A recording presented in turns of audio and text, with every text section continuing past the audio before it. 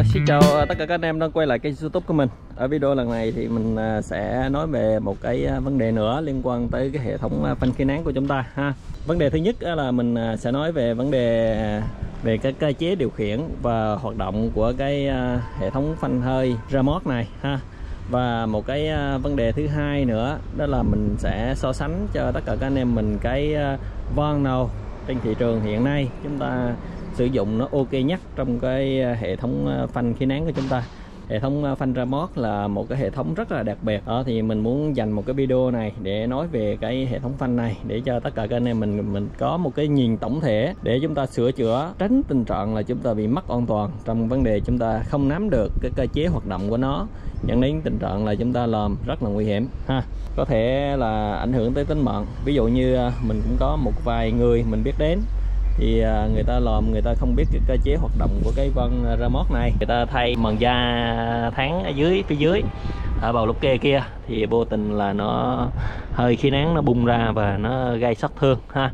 Đó là rất là nguy hiểm.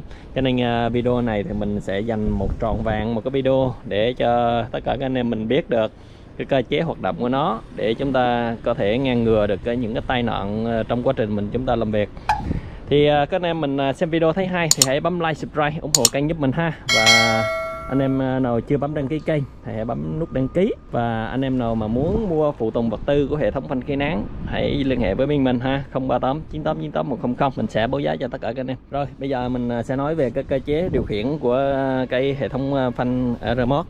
Thì hệ thống phanh remote nó sẽ có hai cái đường như thế này, nó đi xuống như này. Đấy, thì đó là cơ chế điều khiển của nó thì trong hai cái ống này thì nó sẽ có một cái ống được gọi là ống lốc kê và một ống được gọi là ống phanh.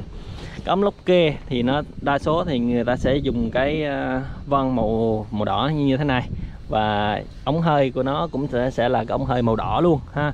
Và cái một ống nữa là một ống phanh. Ờ, ống phanh nằm bên tay này và người ta sẽ dùng cái màu nó cũng khớt để nó phân biệt, để nó khỏi bị lộn trong quá trình mình sử dụng hoặc là mình thâu tót mình gắn nó không bị nhầm, ha. Ở một cái ờ, số dòng xe, ví dụ như có hãng xe của Trung Quốc này, Hàn Quốc này, Nhật Bản rồi đó, những cái dòng xe châu Á thì nó sẽ dùng cái cơ chế điều khiển, đó là khi chúng ta nhả lốc kê thì đường lốc kê này nó sẽ có hơi và đường phanh không có hơi, được chưa? Còn đối với xe Mỹ, khi chúng ta mà nhả lốc kê, thì đường này có hơi và đường này cũng không có hơi. Thì đó là hai hai cái trường phái nó giống nhau, được chưa? Còn về khi mà chúng ta kéo lốc kê, thì ở cái dòng châu Á thì cái đường kê này có hơi này và đường phanh bên này cũng có hơi luôn. Đó, khi, đó là khi chúng ta kéo lốc kê nhé đối với ờ, dòng xe Mỹ, khi mà chúng ta kéo lốc kê, thì cả hai đường này nó đều không có hơi cả. Nó ngắt cái chế độ này, nó ngắt cái đường ống xuống lốc kê này, để cái van ở dưới remote dưới kia nó tự động nó hoạt động luôn, ha. Đó là về cơ chế hoạt động để cho khi nào, khi các anh em mình sửa chữa xe Mỹ hoặc là những cái dòng xe đó, chúng ta biết được cơ chế hoạt động của nó, cái cơ chế điều khiển của nó để chúng ta tránh trường hợp chúng ta mất an toàn, ha. Đối với dòng xe Mỹ mà chúng ta bảo kéo lốc kê một cái là khi đó cái dòng, cái hệ thống hơi này nó không ờ, cung cấp xuống nữa, thì lúc này là cái bầu phanh chúng ta nó sẽ có hơi và nó, khi mà chúng ta thay màn da của hệ thống phanh thì nó sẽ rất là nguy hiểm, hơi nó sẽ phi ra, ha rất là dễ gây sát thương cho chúng ta. Ở dưới ờ, cái remote này thì ờ, mình ờ, muốn nói tới tất cả các anh em là nó sẽ có một cái vân đây là vân chia hơi remote thì các anh em mình hãy thấy này đây là cái đường ống màu đỏ là đường ống lốc kê. Có nghĩa là khi mà chúng ta khi mà xe chúng ta nổ máy thì đường ống này lúc nào cũng có hơi này. Đấy. Và đường ống bên này là đường ống phanh. Khi chúng ta đập phanh thì cái đường ống này nó sẽ có hơi nó sẽ cung cấp vào đây. Và cái vân này nó sẽ hoạt động ha. Còn khi đối với cái dòng xe Mỹ á, khi mà chúng ta kéo lúc kê á, thì đường này nó ngắt hơi luôn. Thì tự động cái vân trong này nó sẽ hoạt động và nó sẽ tự động nó lắp kê lại. Đó là cái nguyên lý hoạt động của cái vân này. Thì cái vân này mình cũng đã làm một cái video nói về cái nguyên lý hoạt động của cái vân này rồi. Thì anh em nào hãy à, xem cái video đó ha. Thì à, đối với tất cả các loại remote hiện nay trên thị trường Việt Nam của chúng ta nó đều hệ thống hơi giống như nhau cả nó hoạt động cơ chế như nhau cả ha. Thì cái đường ống màu xanh này này các anh em mình thấy không? Màu xanh này và màu đỏ bên này đó. Đây ha. Thì nó sẽ đây các anh em mình thấy này đấy. Nó sẽ đi nối vào cái bầu lốc kê nha. Nối vào cái tầng lốc kê. Và nó sẽ nối trực tiếp với cái bình hơi luôn ha. Đấy khi chúng ta phanh á, là nó sẽ lấy hơi từ cái von chia này ha. Để nó đi đến cái bầu phanh đấy.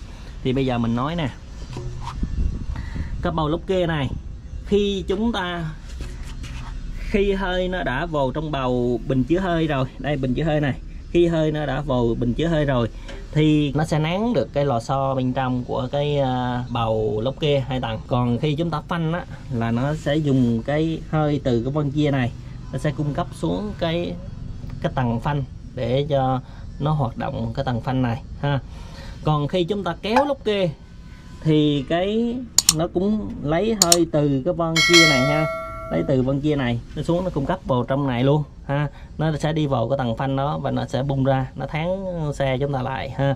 Chứ không, nó không dùng tới cơ chế là lực nén của lò xo của cái bầu phanh hai tầng kia để nó làm việc trong quá trình nó kéo lốc kê ha.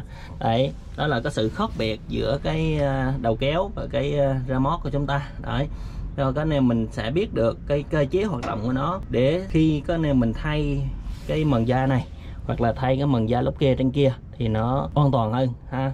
Đến với à, cái nội dung thứ hai đó là cái à, chúng ta xài cái von nào trên thị trường hiện nay chúng ta là nó ok ha.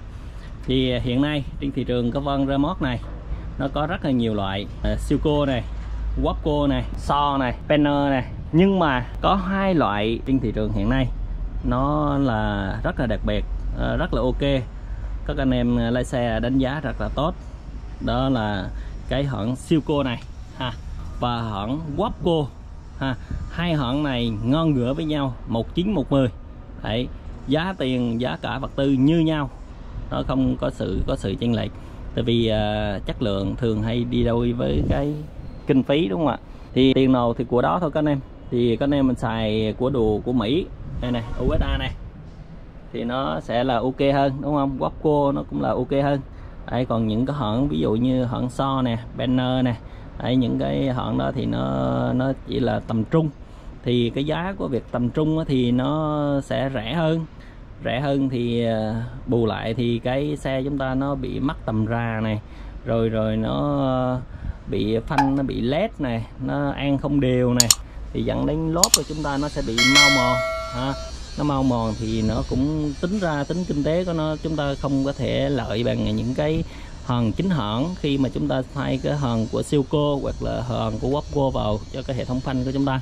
Đấy, thì à, đó là mình muốn chia sẻ với tất cả các anh em để mình biết được là cái von nào là xài ok nhất để chúng ta mua được trên thị trường để chúng ta thay, ha còn các anh em mình muốn mua cái bộ sửa chữa để cái văng siêu cô này hoặc là cái von Wapco thì hãy liên hệ với bên mình. Hoặc có thể là mua nguyên cụm như thế này để dùng cho cái mọt hai trục hoặc mọt ba trục. Thì hãy liên hệ với bên mình ha 038 98 98 100 mình sẽ báo giá cho tất cả anh em. Rồi hy vọng rằng là cái video này sẽ hữu ích cho tất cả các anh em trong uh, ngành trong nghề. Rồi xin chào và hẹn gặp lại các anh em ở những video lần sau.